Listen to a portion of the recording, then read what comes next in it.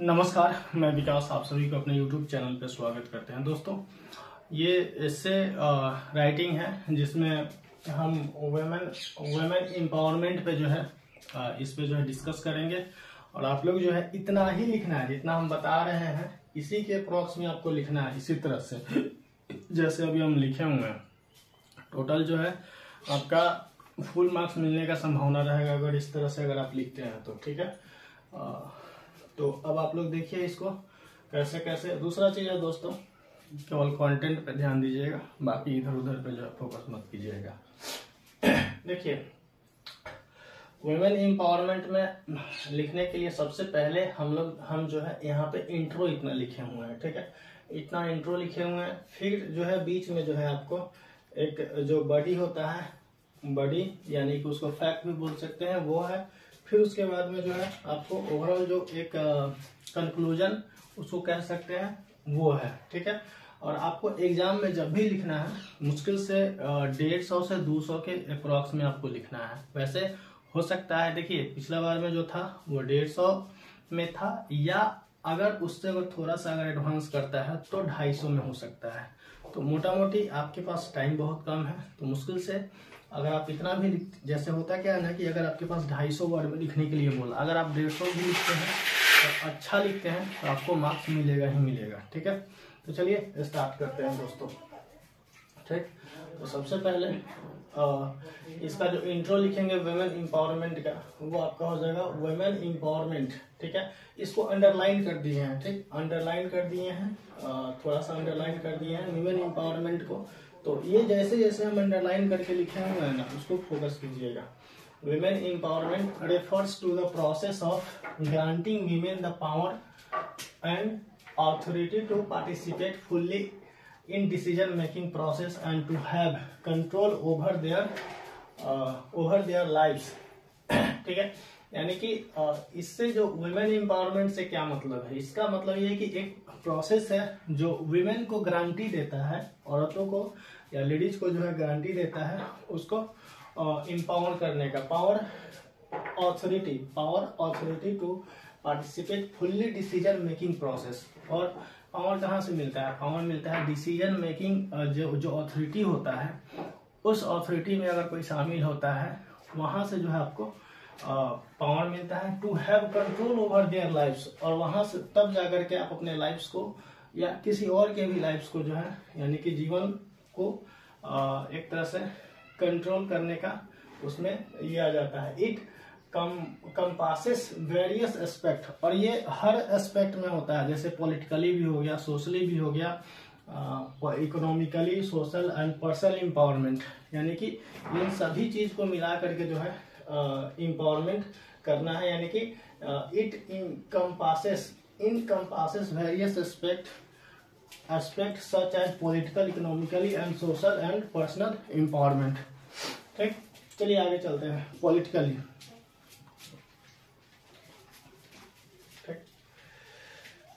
various aspect such as politically economically and social and personal empowerment ये आपका intro है इतना इंट्रोडक्शन इतना जो है देना है, ठीक? उसके बाद में आता है politically politically empowering women involve ensuring their representation in govern governance structure and decision making bodies देखिए, सबसे जो पावरफुल जो बॉडीज होता है, या एक तरह से कह सकते हैं, जो गवर्नेंस में जो लेडीज़ होती है, या गवर्नेंस जो गवर्न करता है वो सबसे पावरफुल होता है डेमोक्रेसी में। तो उसमें भी जो है आपका रिप्रेजेंटेशन होना चाहिए किस किसका? वीमेन का। तब जाकर के जो है इम्पावर मिलता है। यानी कि politically empowering women involve ensuring their representation in governance structures and decision making bodies उसमें डिसीज़न मेकिंग बडीज में जो है उन, उनका इन्वॉल्वमेंट होना चाहिए। किनका लेडीज़ का। नेक्स्ट है इकोनॉमिकली फाइनेंशियली uh, कह सकते हैं कि it entails providing women with equal access to resources it entails providing women with equal access to resources opportunities and employment अगर वेमेन को अगर इक्वल मतलब जन, जो मेल जन मेल जो होते हैं, उनके अगर इक्वल में अगर रिसोर्स मिलता है अपॉर्चुनिटी मिलती है या एम्प्लॉयमेंट मिलता है मतलब उसके लेवल का अगर मिलता है तब जा करके वे फाइनेंशियली क्या होते हैं? मतलब जैसे आप लोग देखे होंगे अपने भी घर में जब दो अगर आ, होता है एक लड़का और एक लड़की जब पढ़ने के लिए स्कूल चूज़ किया जाता है तो अब तो थोड़ा सा जो है बराबर हो गया लेकिन आज से दस साल पंद्रह साल पहले दोनों में जो है एक दोनों में एक डिस्क्रिमिनेशन हो जाता था। कि ये स्कूल, इस स्कूल में जाएगी और ये इस इस स्कूल में जाएगा। तो अब जो है थोड़ा सा वो डाउन हो गया है, लेकिन उसी के बारे में यहाँ पे है कि मतलब आपको जो है फाइनेंशियली भी क्या होना फाइनेंशियली भी इंडिपेंडेंट होने के लिए रिसोर्स जो है रिसोर्सेज जो है दोनों को समान मात्रा में मिलना चाहिए। लेकिन रिसोर्स हो गया अपॉर्चुनिटी हो गया एम्प्लॉयमेंट हो गया, सब कुछ क्या होना चाहिए? समान जो है मिलना चाहिए, लेकिन they are by enabling them to achieve financial independence ठीक है? नेक्स्ट है सोशली समाज में जो है देखे होंगे कि women empowerment involve challenging gender norms and stereotypes that limit women's roles and potential in society personal empowerment focus on enhancing women self self esteem ठीक है? दो बार फोकस लिख दिया। Empowerment focus on enhancing women self esteem confidence and agency to pursue their goals ठीक है?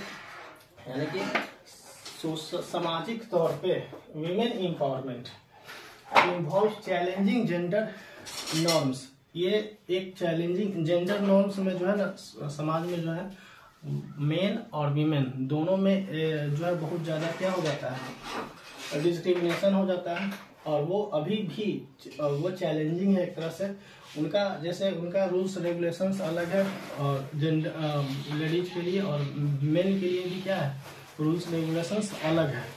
तो मतलब एक स्टूडियो टाइप बना हुआ है। पहले से एक धारणा बना हुआ है कि वीमेन है तो इस तरह इस तरह से घर से यहाँ से बाहर नहीं निकलना है, वहाँ से ये नहीं करना है। समाज में ऐसे नहीं करना है, वैसे नहीं करना है। और जो मेन है, उसका उसका भी एक स्टूडियो टाइप बना हुआ है कि हम बॉस है घर के या ये जो भी है, ठीक है? तो उसी के बारे में यहाँ पे लिखा गया है socially socially women empowerment involve challenging gender norms and stereotypes that limit women's roles ठीक है?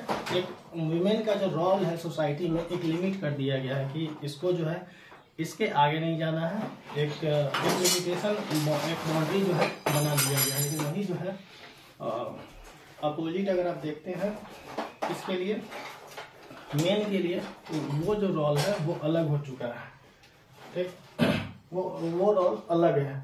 Potential in society personal empowerment focuses on enhancing women self esteem confidence and agency to pursue their goals अब देखिए जो तो ये जो norms है ना ये जो ये जो नियम कानून है एक तरह से कह सकते हैं ये लेडीज़ के लिए लेडीज़ के लिए जो है आपको आ, उसमें कॉन्फिडेंस नहीं जगा पाता है।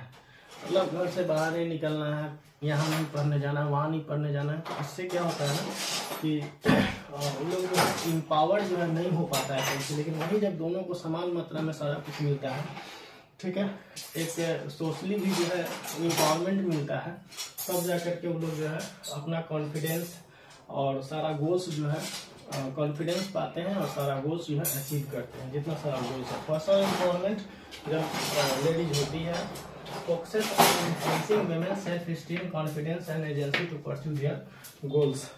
Overall आगे ये है आपको क्या कंक्लूजन एक तरह से बोल सकते हैं इसको, ठीक?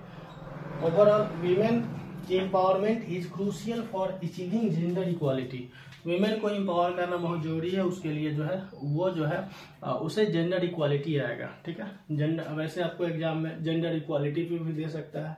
तो आप इन सारे चीज़ों को आप लिख सकते हैं वहाँ भी ठीक है? Women empowerment is crucial for achieving gender equality and inclusive development inclusive development यानी कि यहाँ पे जितना सारा उनके अंदर का जो आ, क्या बोलते हैं विकसित करने का जो भावना है ठीक है? वो अचीव करना है और वो कहाँ से आएगा? वीमेन को एम्पावर करने से ही आएगा।